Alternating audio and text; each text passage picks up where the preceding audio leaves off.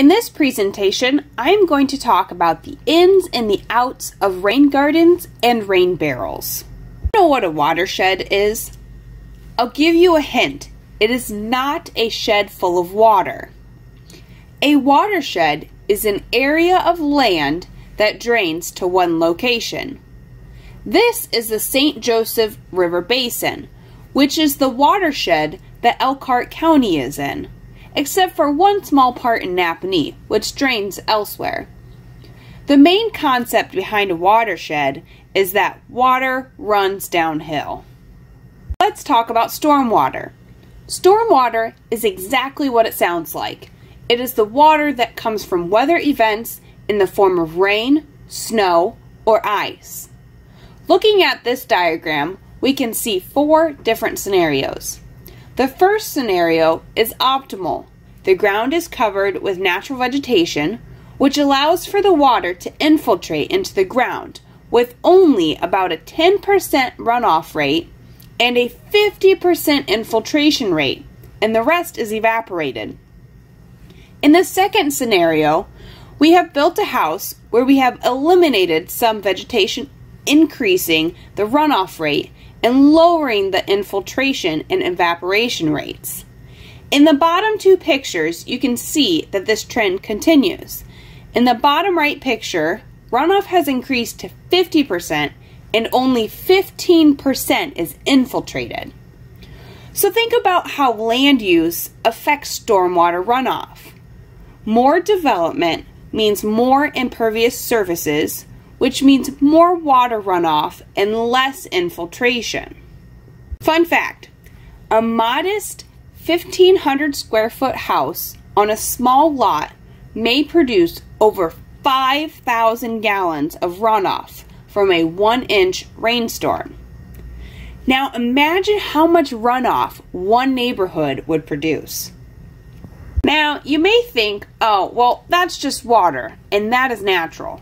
Well, stormwater is natural, but the pollution that stormwater can carry, such as trash, chemicals, or oils, is not so natural.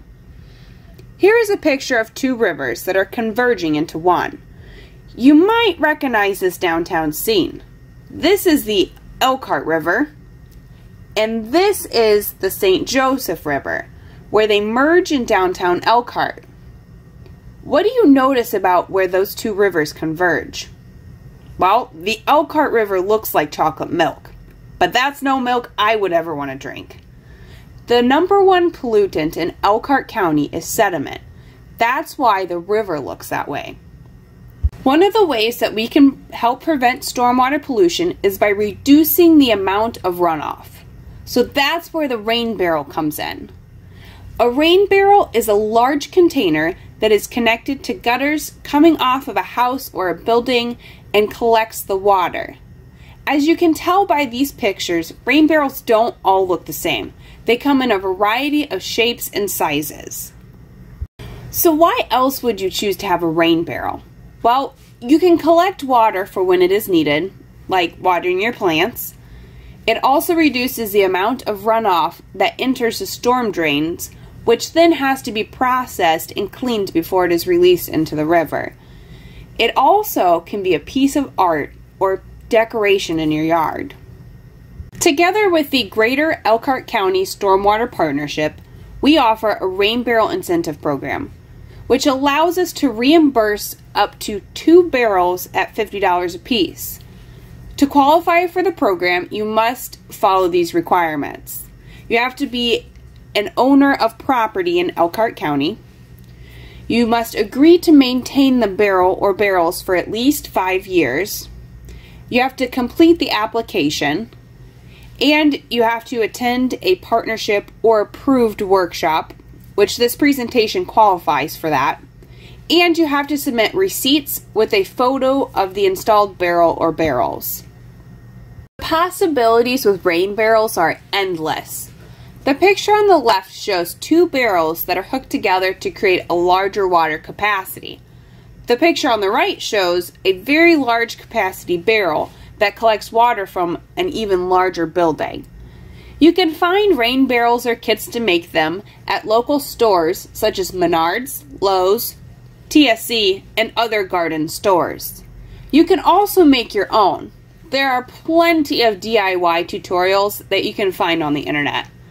The SWCD hosts a Build-A-Barrel workshop that you can attend to learn more about rain barrels and how to make them. Another way that we can reduce runoff and increase infiltration is by creating a rain garden.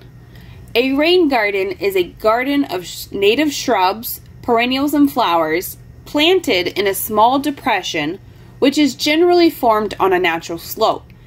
It is designed to temporarily hold and soak in stormwater runoff that flows from roofs, driveways, patios, or lawns.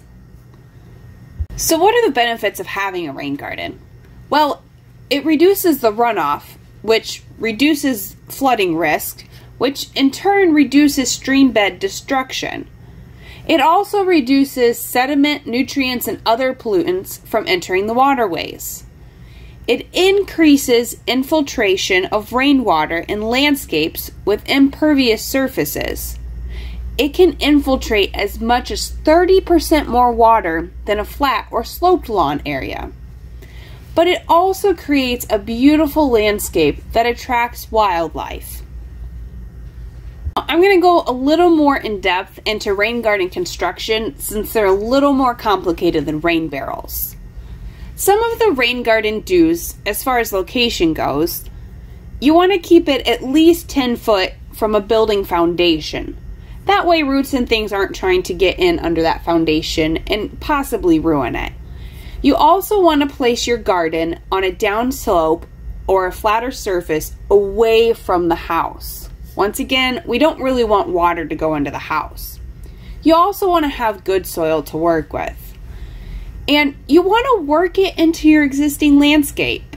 You know, the shape or the location of the garden can be worked around things that you already have in your yard. And you also want to put it somewhere that you can enjoy. This is something that's going to be beautiful, and there's no point in having it if you can't enjoy it. Now, let's talk about some rain garden don'ts.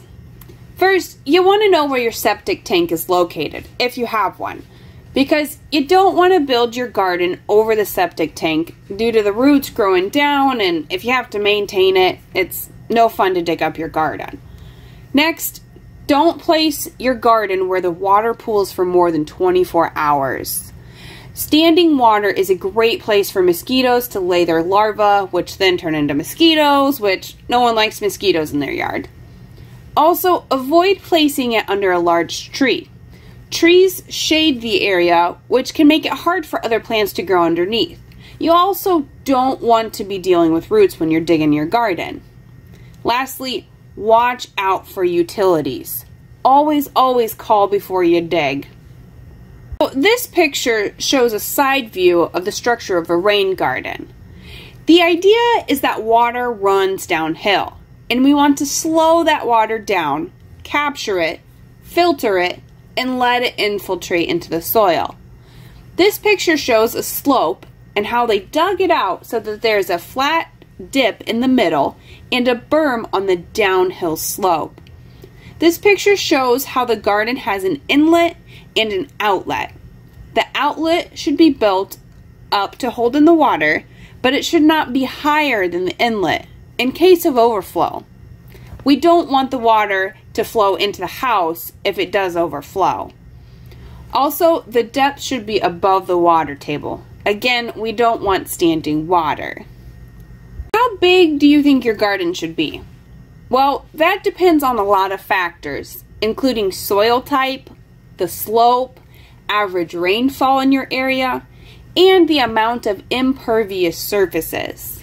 Now, we're not going to do the math now, but in your packets, you have a sheet that shows you how to do the math in simple step-by-step -step instructions. In a rain garden, it is ideal to use native perennial grasses and forbs for several reasons. They're adapted to both flooding and drought, which is what a rain garden experiences. When it rains, all this water comes in, but then when it's not raining, it's absorbed and then it's dry. Also, their roots go deep into the ground, which increases infiltration. You can see in this photo, which you also have in your packet, the difference between turf grass, which is what most people have in their yards, and native plants. The roots of the turf grass are only a few inches deep, which doesn't allow the water to penetrate very deeply. On the other hand, native plant roots are several feet deep, taking the water deeper into the soil, which is what we want in a rain garden. Also, rain gardens are low maintenance. Yeah, it may take some time and some effort to get them started, but once they are established, they are very low maintenance. You can use less fertilizer, less chemicals, and less water.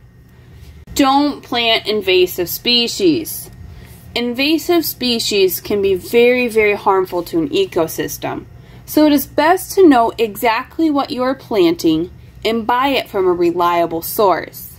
In your packet, there's a page that has local nurseries that you can buy native seeds and plants. The Greater Elkhart County Stormwater Partnership Incentive Program also offers a reimbursement up to $250 for native plants for rain gardens. There are a few requirements. You must be the owner of the property and it has to be in Elkhart County. It must be a minimum of 100 square feet with no more than one plant per square foot. And you have to complete the application with the required documents. And you have to attend a partnership or approved workshop, which this presentation does count as one. And you will have an on-site visit by a partnership staff. If you have more questions, you have more information in your packets. There are a few things that you want to consider when you're thinking about putting in a rain garden. First, you want to think about growing conditions. What kind of soil do you have? What kind of sunlight does it get? And how much rain are you going to get in that area? Those are all things you have to think about, especially when you're trying to figure out what plants to put in it. Now, considering plant types, you want to think about the plant height. You also want to consider bloom times. So, do you want flowers early in the spring, in the summer, and the fall? If so, you got to consider what plants bloom at different times. You also want to think about colors.